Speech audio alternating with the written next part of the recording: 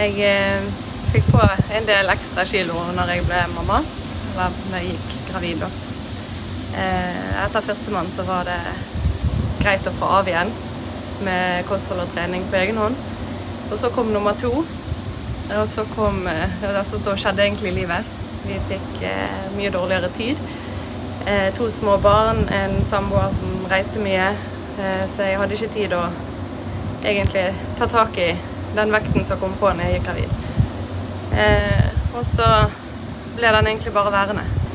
Eh, høsten 2019 så fant jeg ut det var på tide å ta kampen. da. For jeg visste det, den, den kampen kom. Jeg sa hele tiden det at eh, ja, jeg har disse kiloene nå, men de er ikke her for å bli. på en måte. Det er ikke permanent. De skal av igjen. Dette er jo et livsstilskurs. sant? Eh, Hvordan eh, opplevde du det? Det var veldig lærerikt. da.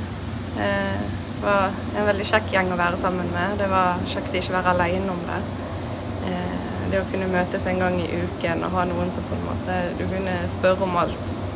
Du, leverer livsstil det er et kurs som eh, Det handler om en varig livsstilsendring.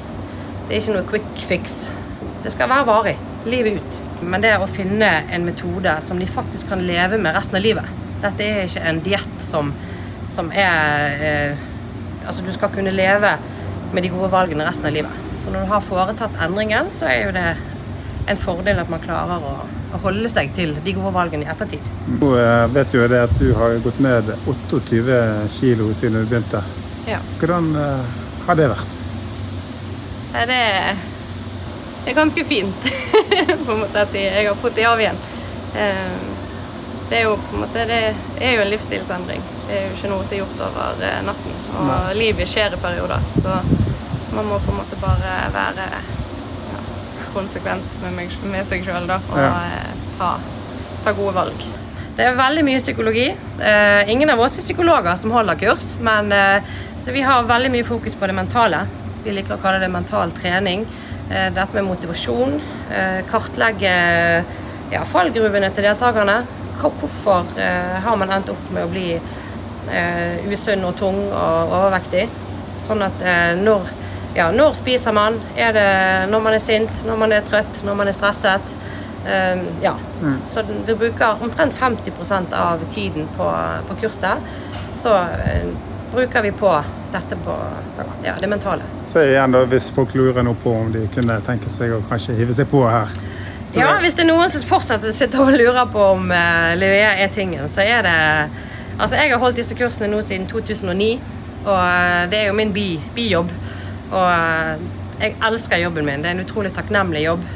Og det er det å se mennesker gå ifra å være usunne og, og svake og ha dårlig helse, helse, eh, til å bli friskuser, hele gjengen. Det er, det er en utrolig motivasjonsfaktor. Når er de nye kursene? da? De nye kursene starter eh, forhåpentligvis i august. Eh, kanskje medio august, begynnelsen av september.